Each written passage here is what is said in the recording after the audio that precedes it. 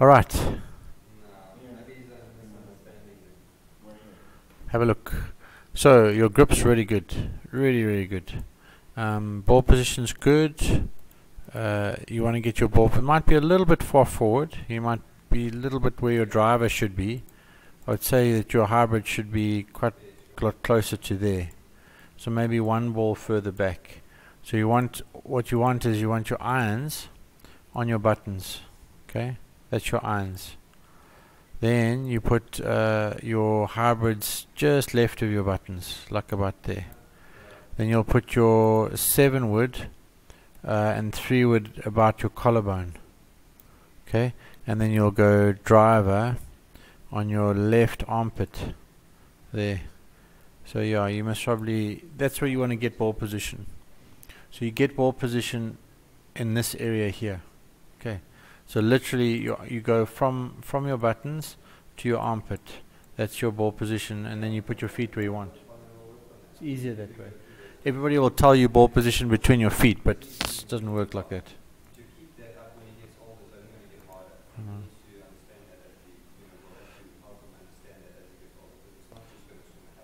So this is good.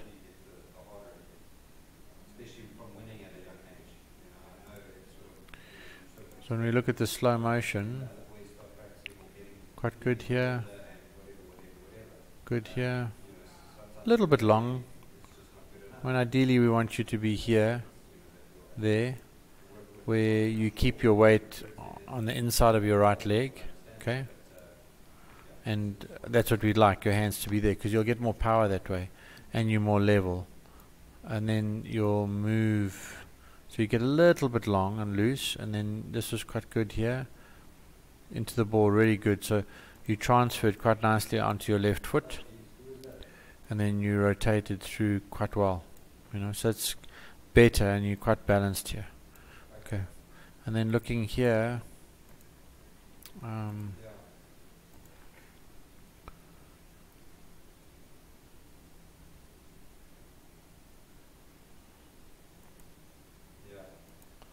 I'm not unhappy with this. This is good.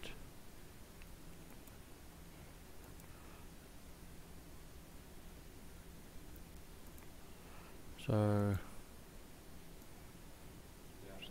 takeaway is a little bit better. Still a little bit inside.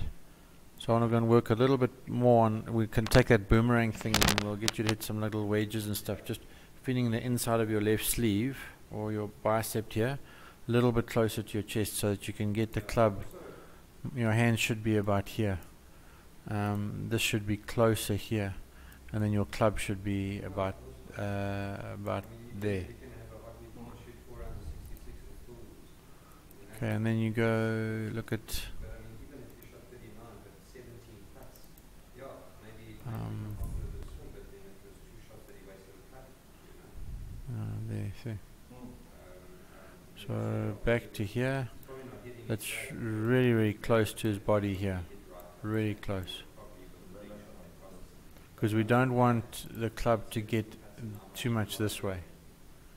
So that's always a function of your shoulders and your hands. So if your shoulders turn too early, uh, or your hands get kind of active here, then the club starts to come behind you. And um, and that will also be a little bit to do with posture. So I'd say the only thing I can see a little bit wrong here is that you're creeping back to that posture instead of um, they they default that way. So like that. You don't want to default um, this way. It's good, but you're too far. You're too up that way. So I'd like to see you a little bit further over. I mean, if you look at this guy here, he's like this will be in the 90s. This there. That's a picture you must have. And again, if you go, net, you know,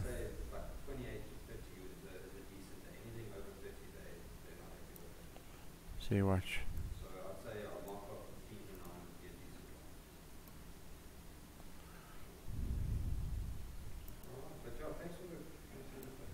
It's always going to be between 100 and 90, okay?